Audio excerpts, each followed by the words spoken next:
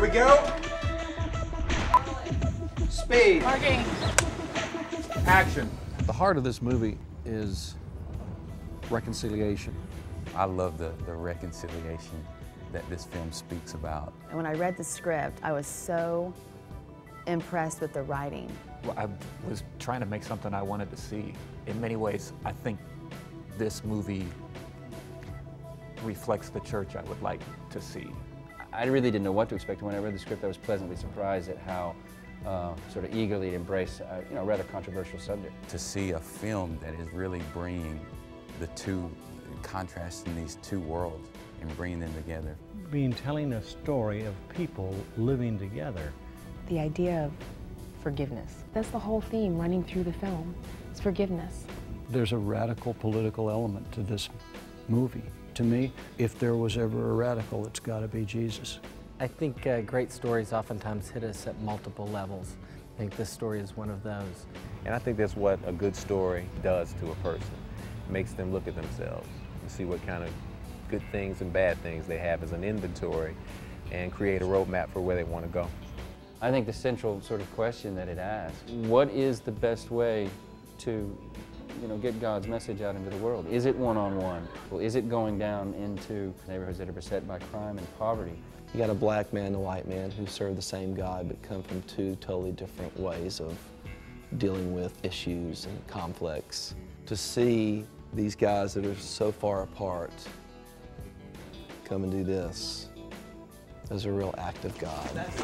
Answer the question. Why are you here? Well, you know what? You can start by saying, I'm sorry. All right. I'm sorry.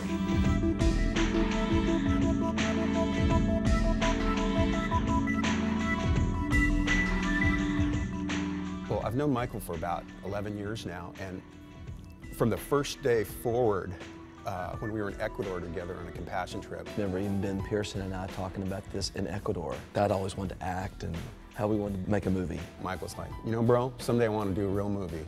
And I'm like, yeah, man, me too. My first reaction was probably what everyone else's reaction was, can he act? I always felt like I could do this. And then I started studying with a coach and found out that I probably didn't know as much as I thought I did. But man, once there, ready to go, and there were people around, he would just kind of come to life.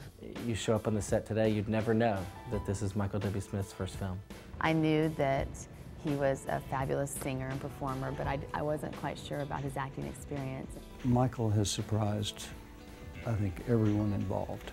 He's got leading man written all over him. Talented beyond uh, his singing and all, and there are other people here working on this picture that are just so talented. It being the first time for me to, to, really step up and play a lead role, I was looking for all the help that I could get. Jeff Carr was especially a big help. He really helped me find out who I was as Ethan Jenkins and really uh, helped me develop my character. This is uh, picture number 137 for me, and I've seen a lot of talent, and I haven't seen any better talent that works on this movie.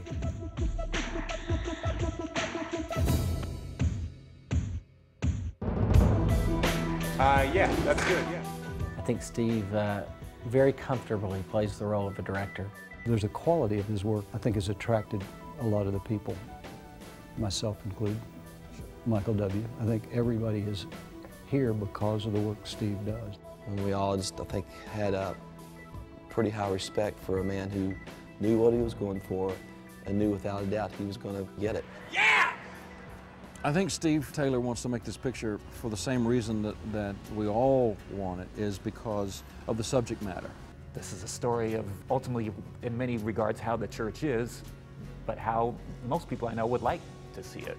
The heart of the movie is to challenge each one of us, to take a reassessment of where we're at in our walk this film is about reaching the people where they're at, meeting their needs. It's, it's a people movie. It, it isn't about a church. Some churches are creating a new model for uh, racial reconciliation, but uh, it's not happening enough. So why isn't it happening? And is there anything in this movie that helps to maybe figure that out? I think that people don't want to talk about race in the church. You know, we want to pretend as if you know, we, we love everybody. And I think you're going to actually see human beings who are committed Christians going through, you know, problems uh, of everyday life. And once again, it'll invoke the bigger questions of what are we really doing here and what are we called to do here. The story, as it got going, it started to challenge us as writers what our values were. We were constantly reminded of how easy it is to get off track. My problem is that uh, I would rather throw money at a problem than get involved with problems. I figured that there were probably a lot of people like me who have that tendency, you know? I believe that I need to be helping the poor in my community, so I write checks. This is how we solve problems in America. We roll down our window, throw out some money, then drive off. As an individual, I'm challenged to be authentic and not just to throw money at a problem. I'm challenged to help my church move beyond our comfort circle. So I would hope that, that people who are churchgoers would go to this and this would feel like, oh, that rings true, you know, it feels authentic. But I would also hope that people who don't would go to this to see, well, well how, do, how do these people think, you know, or what goes on in a church? I would like to think that this is potentially a film that a lot of people would want to see just out of curiosity.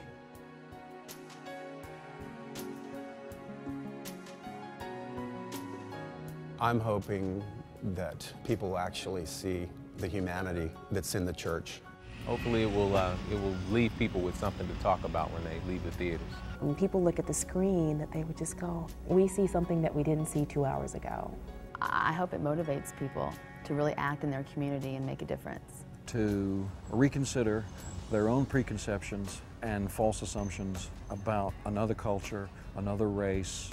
Their guards will drop, that walls are going to fall. I really hope that this inspires not only our community, but communities across the nation. That they would come to the realization that God is not going to do things the way you think He should do them. And use what they saw on the screen uh, as a mirror into their own hearts. What's important is that people see it and they start to ask these questions and start to think about the issues. But I think the big thing is just to forget about what your agenda is and there's a bigger picture out there. I think that's what people will walk away with. They'll be moved, I think they'll cry. You'll walk out with a great feeling of just going, I'm here for a purpose, and I surely don't want to miss it.